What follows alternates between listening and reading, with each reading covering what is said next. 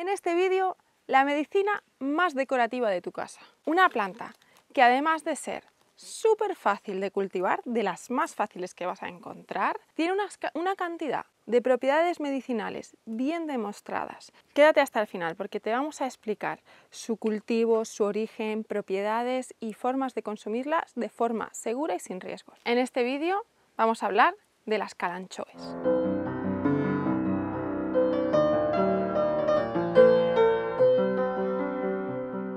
Las calanchoes es un género de plantas que tienen unas 125 especies aproximadamente. Son todas plantas suculentas y son de la familia de las crasuláceas. Son todas originarias de los trópicos, sobre todo del viejo mundo, es decir, Europa, pero sobre todo de África y de Asia, muy abundantes en Madagascar y esas son las que más nos van a interesar.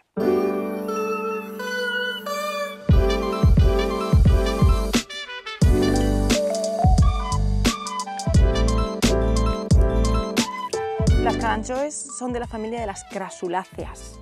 Estas son plantas suculentas que son un poco gruesas en las hojas y tienen una estrategia adaptada a vivir en climas muy secos. Pueden vivir con muy poca agua porque la absorben y tienen un metabolismo especial, el metabolismo ácido de las crasuláceas. Si os interesa saber más sobre las familias botánicas, pues dejádmelo en los comentarios y si eres un súper motivado de las plantas, ya sabes que tienes el curso online de plantas silvestres, comestibles y medicinales que lo puedes ver en la descripción de este vídeo. A ver, estas calanchoes las vamos a plantar aquí en este pequeño bancalito a la entrada de la parcela. Aquí no van a tener mucha agua, que es como les gusta estar en un sitio soleado, Pueden sobrevivir también con medio con sol sombra, pero les gusta más estar eh, a sol directo y necesitan poquito riego, así que va a ser prácticamente solamente el que vaya cayendo solo del bancal que hay justo detrás. Os estaréis preguntando qué, es este que hay aquí justo detrás. Un bancal Hugel. Os hablaremos más al respecto pronto. Estas son las tres variedades que tengo. La de la hoja más grande es la Gaston Boisieri, que también la llaman oreja de burro. Esta que es la más alta es Calanchoe pinnata, una de las más conocidas y más estudiadas. Y esta de aquí es Calanchoe agrimontiana, una de las más comunes que tiene la gente y de estas tengo ahora mismo tres plantitas, la abuela, la madre y la hija.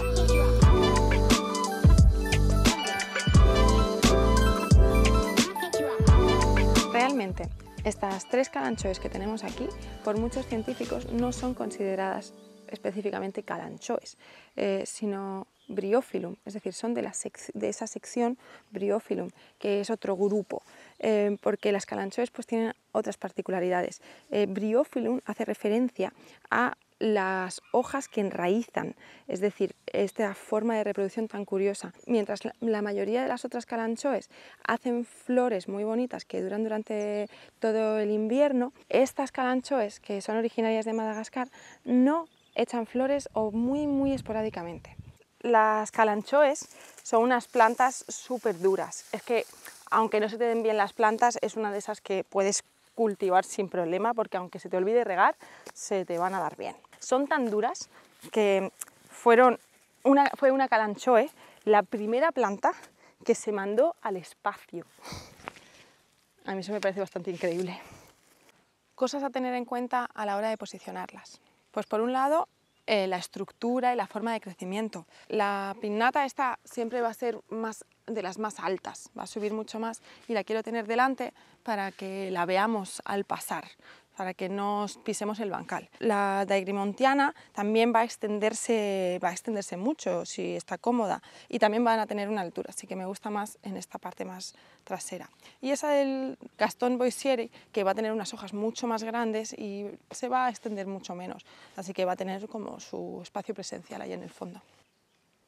Estas dos las vamos a posicionar aquí en esta parte de atrás para que hagan una buena barrera. Pero realmente el marco de plantación puede ser muy cercano porque ellas mismas van a luego eh, reproducirse de forma mm, asexual mucho y ahora lo veremos. Eso es lo que les hace también ser bastante invasivas. Así que si tenéis unas calanchoes, aseguraos de ponerlas en un sitio que no sea fácil que se extiendan por cualquier lado. Se cae y recrece. Y eso tiene que ver con cómo se reproducen estas plantas. Caerse estas pequeñas como florecillas que tienen las hojas, que no son flores, realmente son unas hojitas que echan raíces directamente. Estos se caen por todas partes y así vuelven a crecer. Como por ejemplo están creciendo aquí todas estas pequeñitas. Por eso también se la llama mala madre, porque es una planta que parece que se desprende de los hijos, ¿no? Así. Aquí realmente hay mucha piedra, demasiada piedra, ¿eh? Bueno, aquí realmente tenemos el cemento de la puerta, pero vamos a ponerlas igualmente porque lo que vamos a hacer es rellenar con tierra arriba y elevar el bancal para que puedan crecer.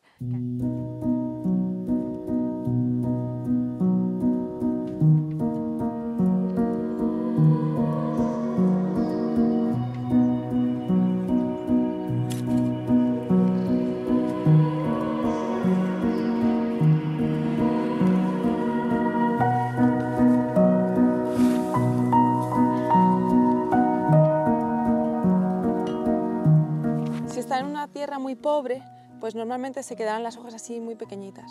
Aquí también hay muchas muy cerca compitiendo unas con otras, entonces se quedan muy pequeñitas, por mucho que sean maduras, se quedan pequeñinas.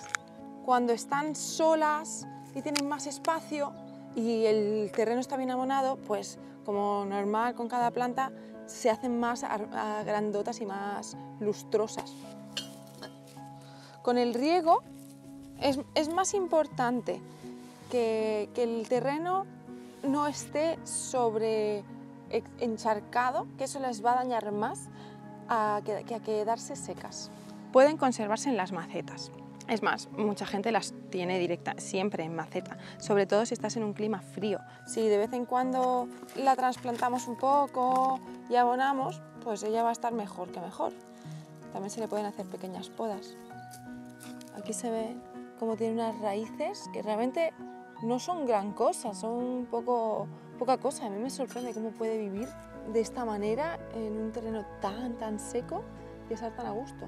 Esto tiene que ver con el metabolismo ácido de las crasuláceas, el metabolismo CAM, que ¿qué otra planta crasulácea hemos visto ya en un vídeo que tiene este mismo metabolismo y por lo tanto estas mismas características?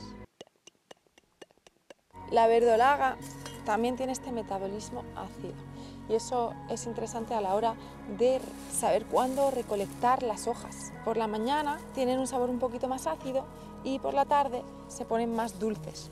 Esto es porque tienen esta estrategia de protección contra la deshidratación. Lo que van a hacer es abrir los estomas por donde van a absorber el CO2 siempre por la noche.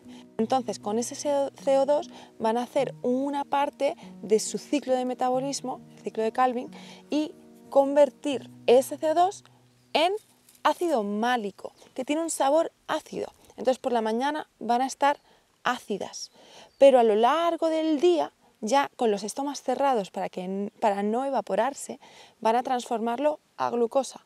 Así que si nos gusta el sabor ácido, la recogeremos por la mañana. Si nos gusta que esté un poquito más dulce, recogeremos al atardecer. Las calanchoes son unas buenísimas plantas de interior porque aunque prefieren estar a sol directo, eh, crecen perfectamente solamente con luz ambiental. Así que se, las puedes tener en una habitación y aunque no les dé la luz directamente, no les dé el sol directamente, si hay buena luz, van a estar felices. Lo único de lo que tienes que asegurarte es de que no pasen frío, no toleran las heladas, seguramente se te morirán con, el, con, con las temperaturas bajo cero.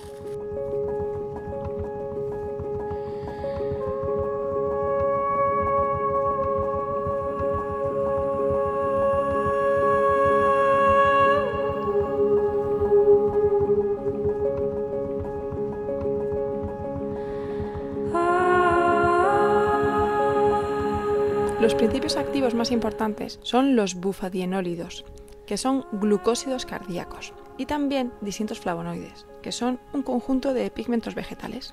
Los estudios mencionan dosis diarias recomendadas de unos 350 mililitros, es decir, unos 2 gramos y medio, una cucharita de postre en medio litro de agua, por ejemplo. Si hay un tratamiento, entonces es interesante tomarla a diario, pero si estás sano como una roca, con una hojita de forma esporádica es suficiente. La mejor forma de consumir la calanchoe es en zumo. El jugo de la planta mezclada con limón es una buena receta.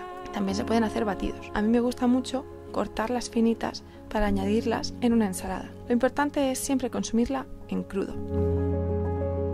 En las culturas tradicionales de Madagascar, eh, de Asia, eh, como en China y, e India, se, se, han desarrollado un montón de medicinas tradicionales con las calanchoes para muchísimas propiedades de salud diferentes. Pero hace ya muchos años que Josep Pamies empezó a decir lo importantes que eran las calanchoes para, para mejorar un montón de situaciones distintas.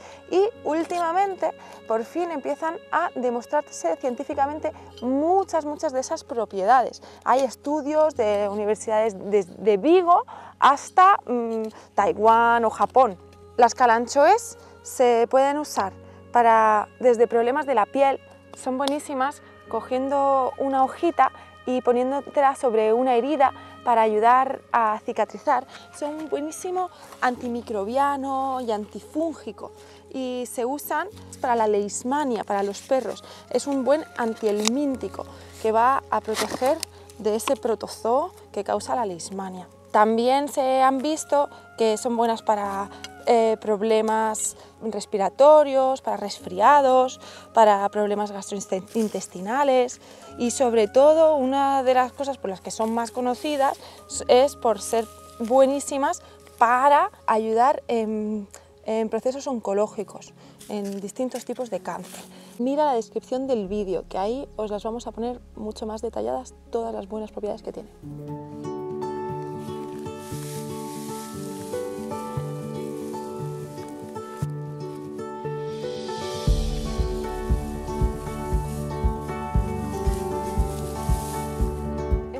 Importantísimo acolchar para tener la tierra bien protegida.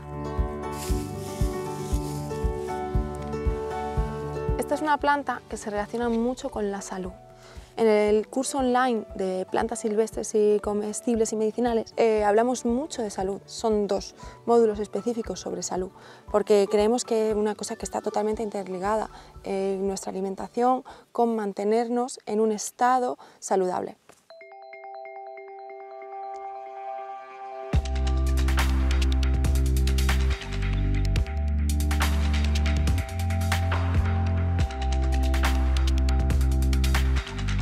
Usan mucho como ornamentales, tanto en interior como en jardines rocosos. Además de que son súper resistentes, hay muchas calancuchoes que echan una floración preciosa que dura durante todo el invierno.